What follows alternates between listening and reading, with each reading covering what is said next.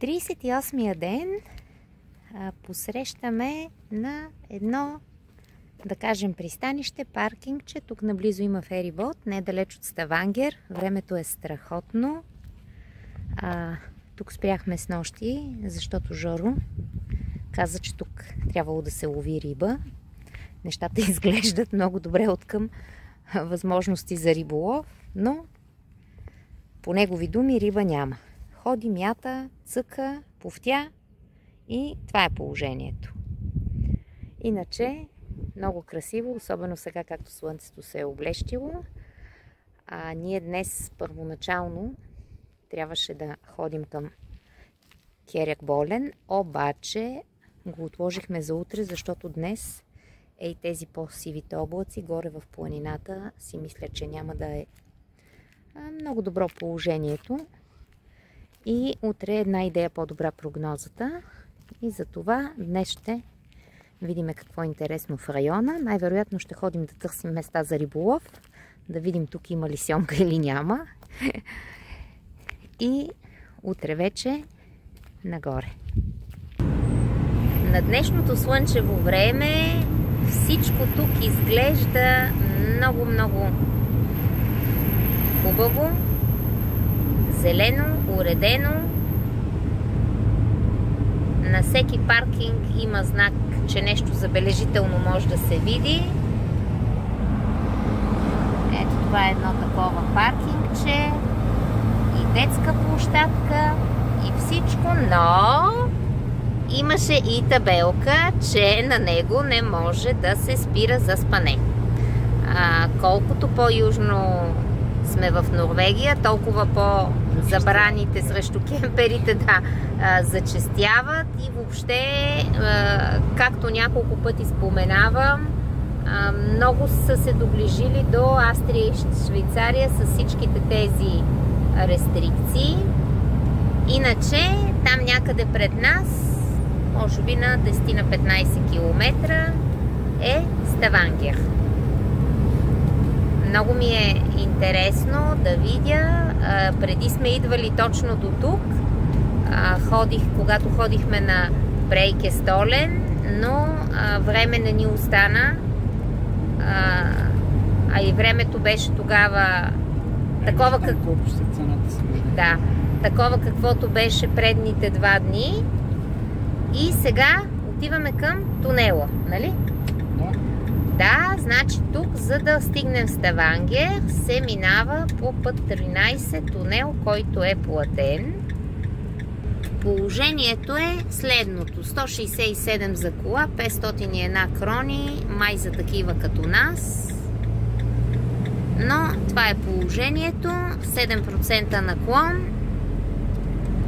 Ако искаш да гледаш Ставангер, плащаш.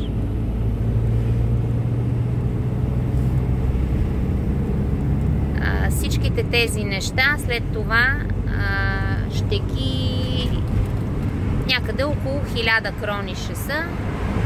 Общо в Норвегия до момента а, пътните такси, които е следвало да платиме и би трябвало да ни ги изпратят си ги платим по почтата.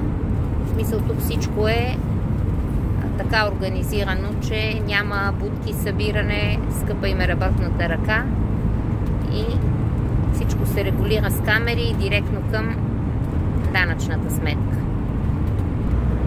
Не се бях интересувала за този тунел, но Жоро казва, че това е един от най-дългите подводни тунели в света. Подобни са този под Ламанша в някаква степен.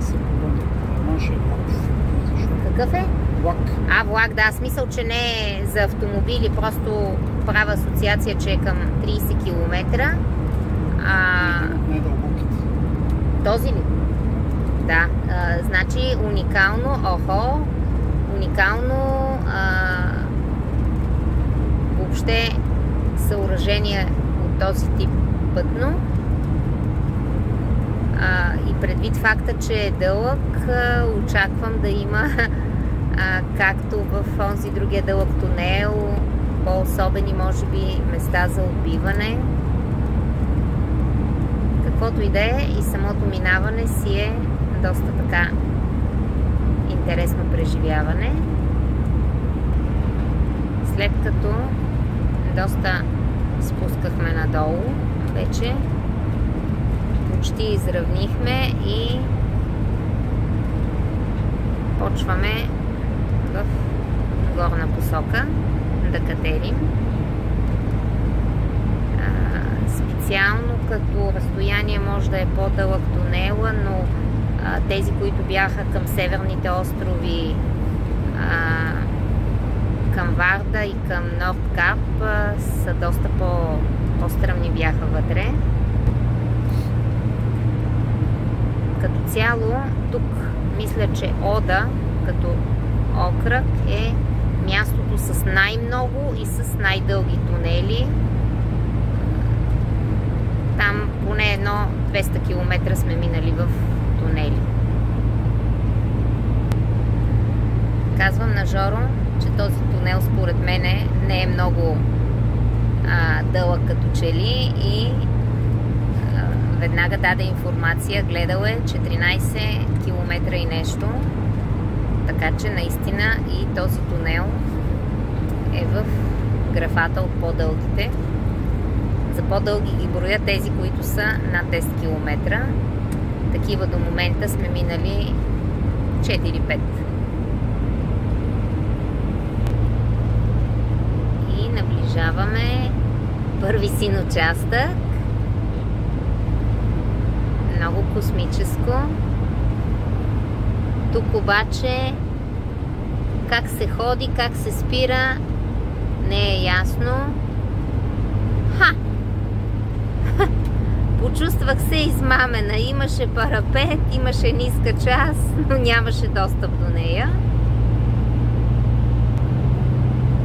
Доста скучновато, като изключим ей тези лед картинки, които на няколко пъти ги имаше страни.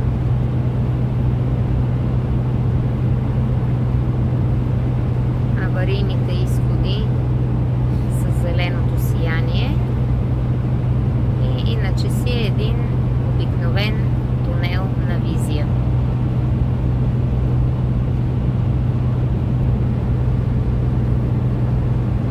Гледам аз замислям се колко е спокойно, как няма насрещно движение и в момента, в който си го мисля това и Жоро изказва възхищение, че а, за разлика от повечето тунели, включително и този, който беше най-дългия, всичките са с а, една тръба и движението е двупосочно. Това е първият тунел, който всяка посока а, всъщност тунелите са два, по един за всяка посока.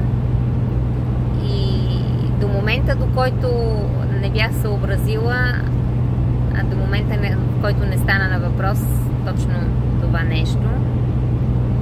Много добре, браво, Евала.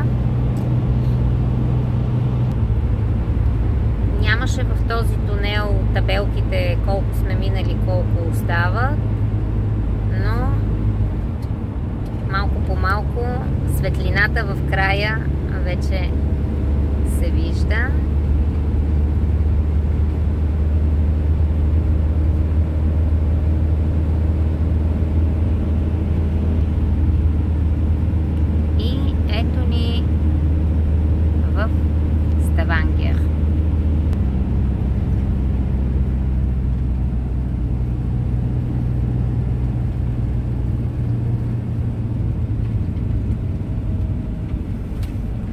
има нов тунел, за къде не е ясно. Беше също с знака с кроничките. А сега да си изберем на къде да зяпаме. Първите впечатления са чудесни. Минаваме явно през някакво предградие. Къщички. Дизела относително скъп, разкошни площадки, паркчета за разходка с детски площадки из тях.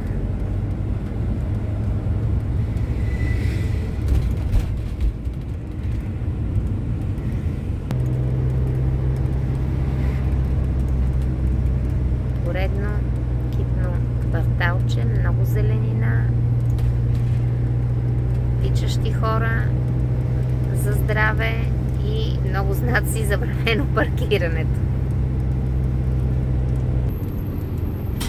Излизаме за малко от зеленината. Гледка към близкото пристанище. И веднага следващия квартал. Много дружелюбно беше това момиченце как ни се израдва и помаха.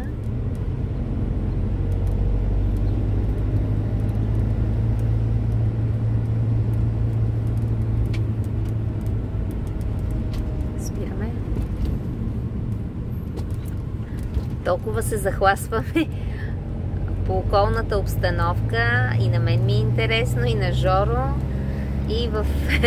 понякога подсказвам така, защото ми се стори, че може би... Ето сега не виждам. Трябва да гледам и за рибари. Въобще пътуването е с повишена трудност. А тук целият град е накацал в островчета и минаваме от мост на мост помежду тях.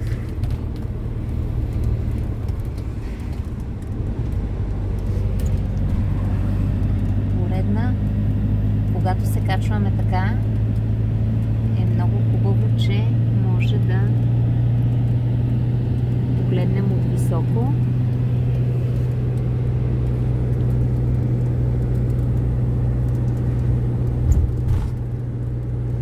предния мост и този са от този вид, които са а, хем като висящи с арка, хем не са метални.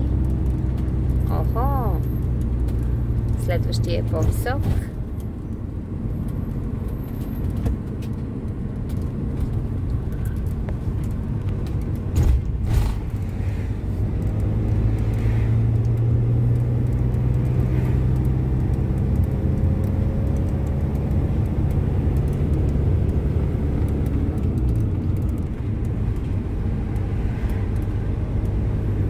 навсякъде, включително и тук. Сега летния сезон е място за профилактика и ремонти. И по по-голямата част от мостовете беше така.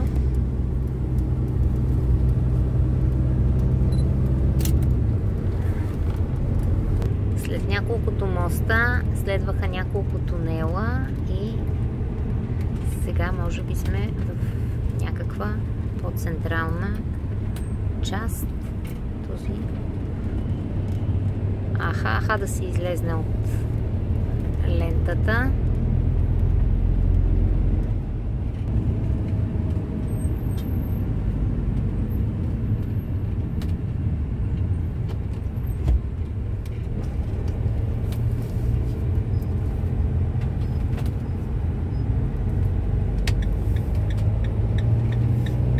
Доста голям град.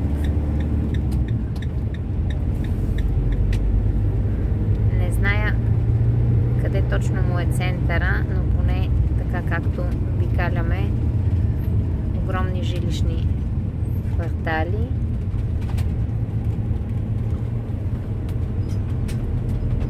И там май поредния тунел.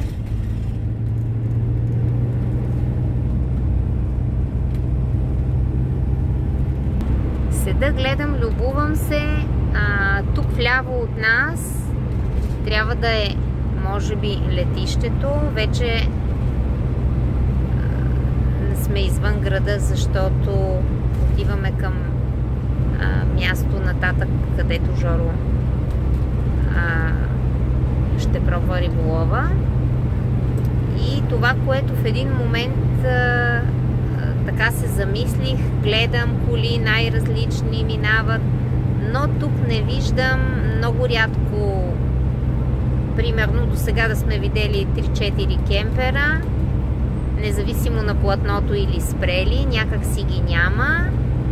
И другото, което е, не видях нито един камион. Ето пред нас има един трактор, но... А, да, може би има такава забрана някаква и за това, но Камиони няма.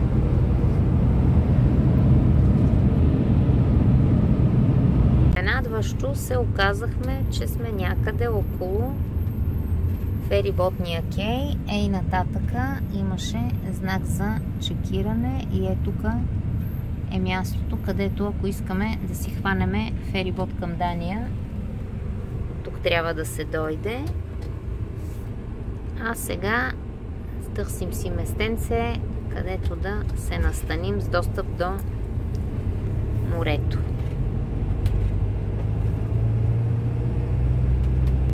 На това прекрасно местенце дойдохме за риболов.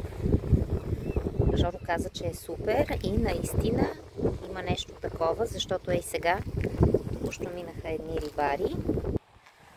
Ей тук някъде по скалите нагоре се отива, но за сега ми е студено, след малко ще се облека и ще отида да видя. Иначе разкошен паркинг. А ей тези там с това всъщност са рибарите с едни кошове с много водици. Излязаха отгоре, не видях какво са хванали. Но явно има нещо, щом в момента чистят улов. Свърших аз малко потварска работа. Нахлузих дебелото яке и отивам да видя каква е хавата тук. Всички идват тук не малко хора с въдици и всички тръгват ей насам по тези скали. Моя човек обаче тръгна в другата посока. Жоро се отнесе ей по тая пътечка там и като направя снимки и аз ще хода да го видя какво прави. Доста време се забави, значи нещо се случва. Щом не се е върнал до 10-та минута, значи може и да има риба.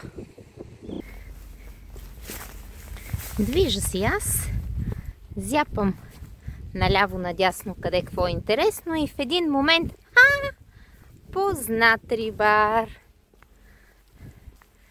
Я да видим какво е хванал. Хванал ли е нещо? А, не бил. Сега ще хване. Докато лови, реших да огледам какво е интересно наоколо. И хоп!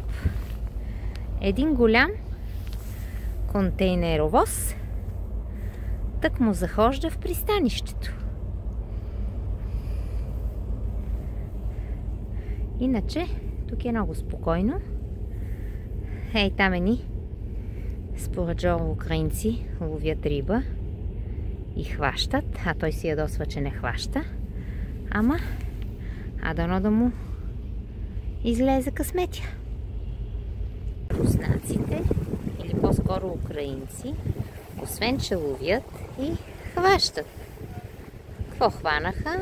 Може би около килограм рибка и сега мадамата ще я чисти. Второ и лови на това място. И нищо не хваща. А му казвам да отиде там и да лови. И той вика няма рибата е насякъде. И отиде за да ми покаже, че няма риба. И какво се случва? Има риба. Я да видим къде е рибата. Оу! Хубава скумрийка. Браво на Жоро. Видя ли като ме слушаш какво става? Супер. Лови, Жоро, лови, Жоро, хваща Жоро. О, Жоро хвана голяма риба. Браво, Жоро. Хубаво, днес няма да бъде празен ден. Чудесен. След обед изкарахме. Имаме си и пет уловени рибки. Прибрахме си ги. А сега по обратния път да разгледаме малко повече и от Ставангер. Чудни гледки са наоколо. Това са някакви а, като предградия или малко селище преди града. На около 15 км сме от центъра и би трябвало това да се води, че е в града, но много така разлято и единично ми изглежда, затова и правя подобно допускане. Ага, сега предстои да се качим на доста висок мост. Гледайки корабите наоколо, би трябвало да могат да минават и помежду под него. Хафрсфьорбрук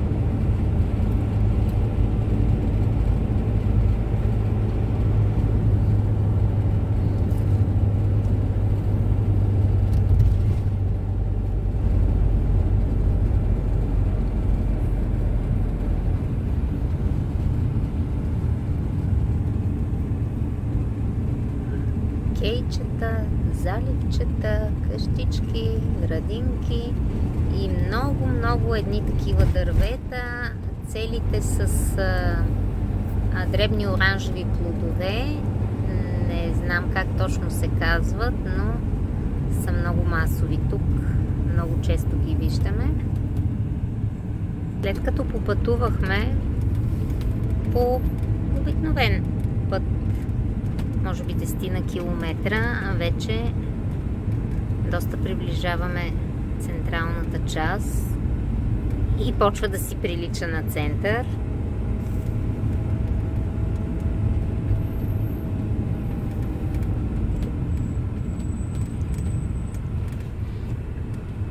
Много ми харесва как всичко е с цветя.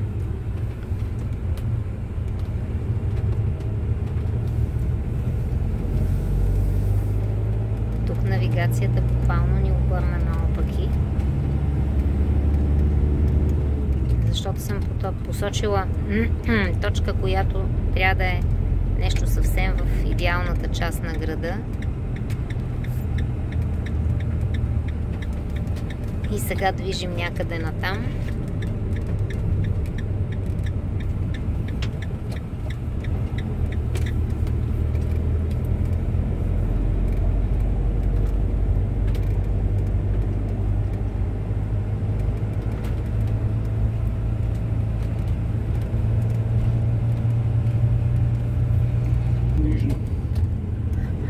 Поглеждам навигацията и се оказва, че идеалният център е тук вдясно, ей за тази градинка, малко по-напред.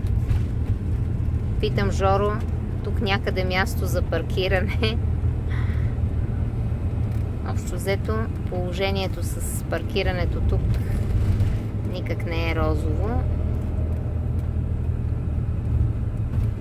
Така че сега за сега нещата отиват към разглеждане само от кемпера.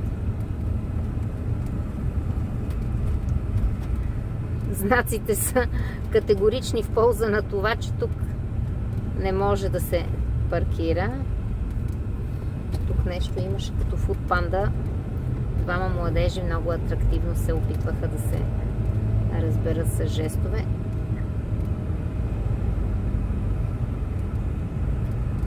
Свихме в една уличка да видим как е казо с паркирането. Принципно, а, принципно имаше места, а, има знаци, че е платено паркирането от 8 до 18 часа, в другото време е свободно, имаше и къде да се паркира, но на Жоро не му хареса, че тук нямало център и обърнахме и сега движим изяпаме наобратно.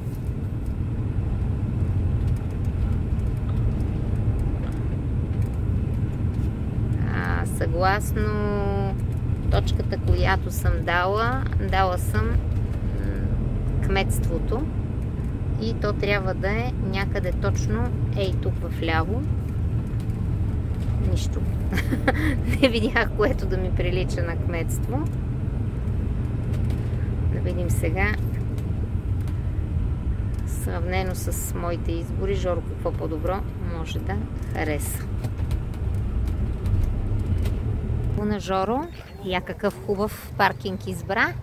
Ей, тук пише Рема.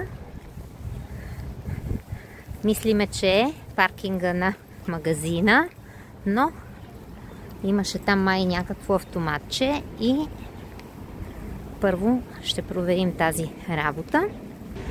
Преди това поглеждам и какво да видя. Ставангерската гара.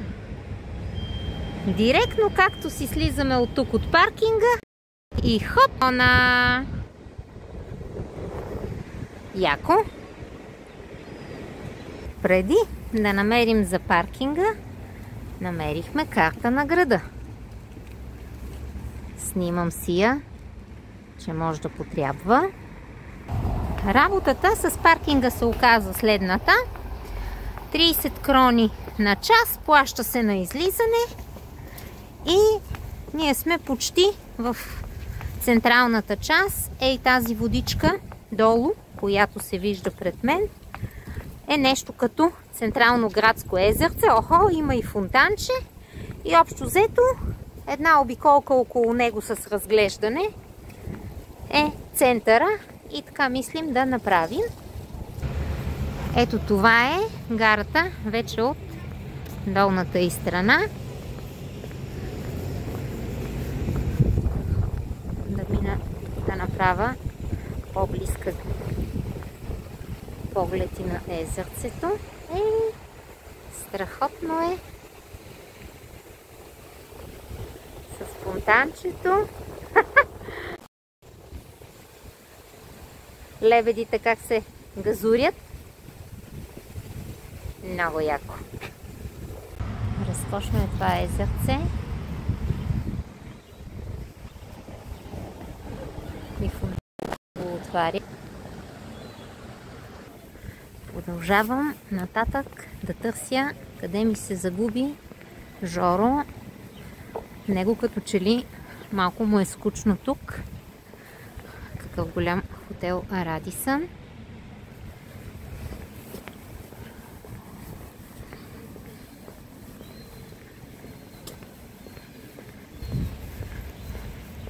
Независимо от всичко, тук е страхотно.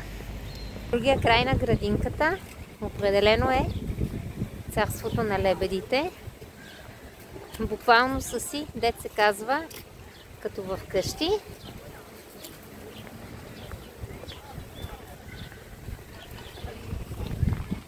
А тук има един доста дружелюбен гарван, който хич не се плаши.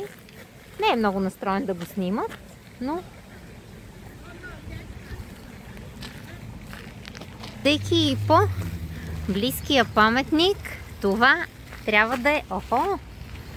Крокодилче за децата. Та това, което исках да кажа, е, че съдейки по близкия паметник, това трябва да е градинката на пилетата. Много са дружелюбни. Този гарван, за който казах, че аха-аха да го снимам. Другия, който му е другарче, се оказа, че е много любопитен и буквално дойде на половин метър от мене. Погледна, погледна, не получи нищо за ядене и си замина. А, много ме впечатли как не се плашат от хората и са всичките много-много охранени. Разхождаме се ние с Жоро, гледаме си разни неща, питам, че няма църква и хоп, ето я църквата. Малко нещо са я опаковали, но няма значение. Ще пробвам да видя. Иначе, ето малко по-встрани, същата градинка. Чудно местенце, много ми прилича на нашенска София. Так му казвам колко е хубав града и установявам как на Жоро не му харесва. Не разбрах защо, но рязко сви наобратно да се прибира в кемпера. Както той често обича да казва, това не е неговото място. И аз нямам много-много да обикалям, просто защото нямаме много време. Но все пак, поне това, което е тук, наблизо, мисля, че може да му се отдели внимание. Само малко в страни надолу и нещата доста се променят във вид на търговска уличка, които обаче вече са затворени.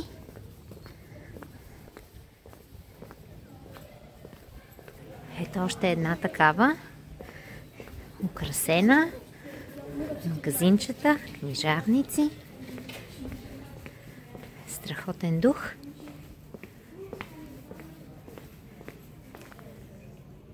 Ей тази уличка е доста някак си тясно, нехарактерна за тук за региона, имайки предвид, че всичко е по-широко. Тук стигнах до площадче, което се разклонява и мисля малко по малко да огледам насякъде на където води и после полека-лека наобратно. Много интересен стил има тази част на града. Не е една улица, която да е оформена като търговски с всичко, а просто много като лъчи на слънце.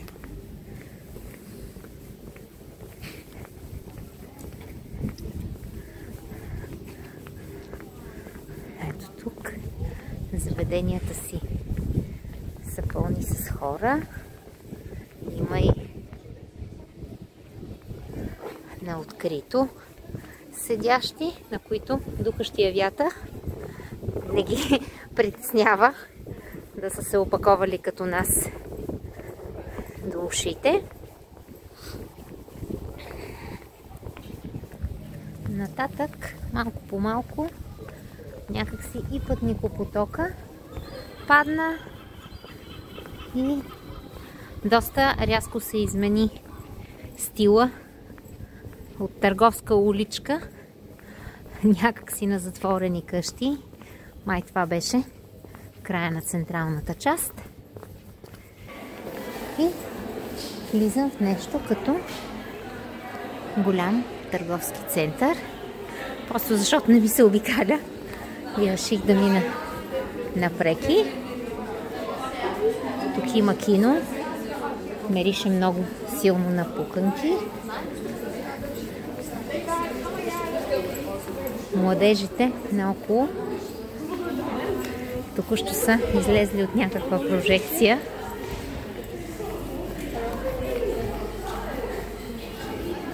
И хоп отново на кръглия площад здравчето.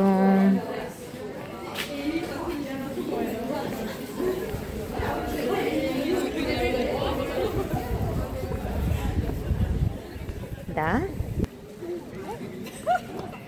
Филм театър. Ето още от онези розовите, дето ги видяхме одеве. А тази къща, или по-скоро сграда, доста ми харесва архитектурно.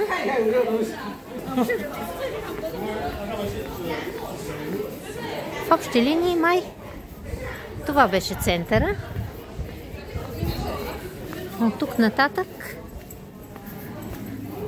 поемам наобратно към Жоро. Това ни беше Ставангер гледането. А, 30 крони ни струваше паркинга. Просто набрах номера на а, кемпера и ми изписа, а, че трябва да плата. Само маркирах телефона и това беше. Не пожела да даде разписка. А, много се дразни, когато не ми дават разписка за плащане. Явно това е от живелица от миналия век. Тук може би почти никой не взима разписки, но аз пробвам упорито навсякъде. И от тук нататък имаме, ако не бъркам, около 2 часа път до паркинга на Керак. Излизайки от Ставангер, пътя се вие много красиво покрай някакво езеро. На няколко места в началото имаше отбивки. Видяхме и кемперче как си се беше настанило. Много ми харесва как изглеждат нещата тук. Зелените затревени хълмчета отляво и водата отдясно, като градско паркче. Къщичката с древния покрив въобще приказно.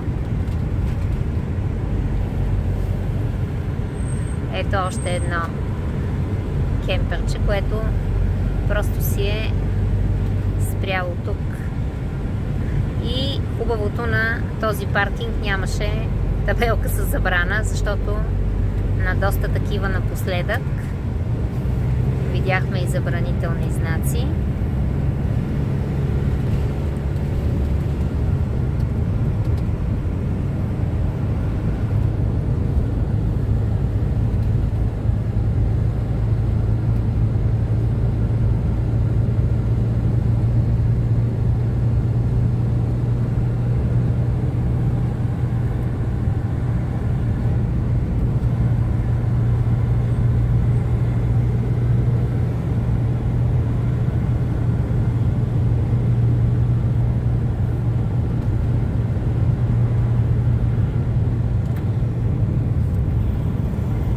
си пътуваме, в един момент Жоро казва, че тук тия скали били страхотни за риболов. И първото селце веднага ще отбиваме, защото трябва да видим какво се случва, поне да разгледаме. И в момента, в който правим обратния завой, ей тази красота е пред нас. А долу на брега, тук някъде има и кемпер стоп, който може би ще намерим. Просто е уникално.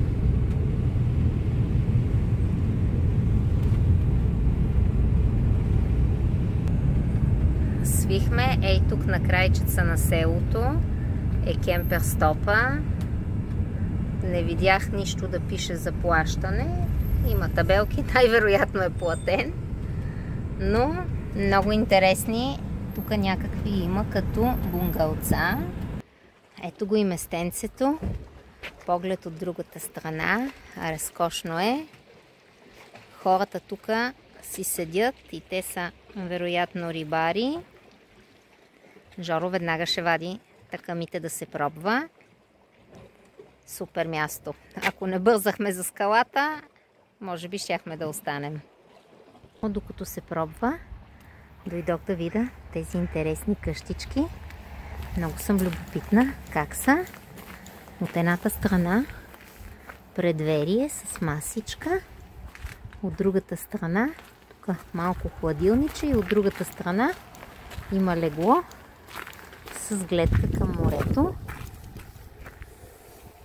Ето така. Тук няма никой.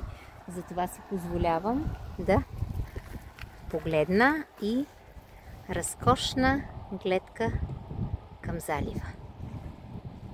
Видях един мъж излезе от сауната. Сега вече знам, че е сауна. От третата къщичка. И се запъти към морето. Веднага идвам да видя. Ето има си коминче. А, там пише, че е за 6 човека. И имаше някакви указания как може да се ползва. А?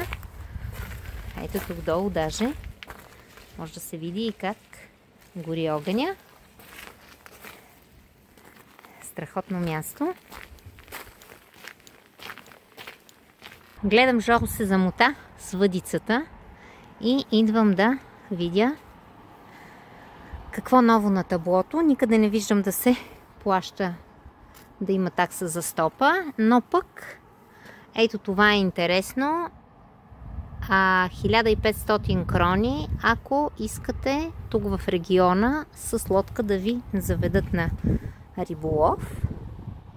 Иначе намерих и а, варианта с таксата. А, значи а, паркинга е частен и условията за ползване са до 3 часа е безплатно, иначе 50 крони на ден. Чудесно местенце, заслужава си дори и повече човек да остане ловим риба и не хващаме риба, а се хвана, ей, той нящо, само го снимам и заминава към морето.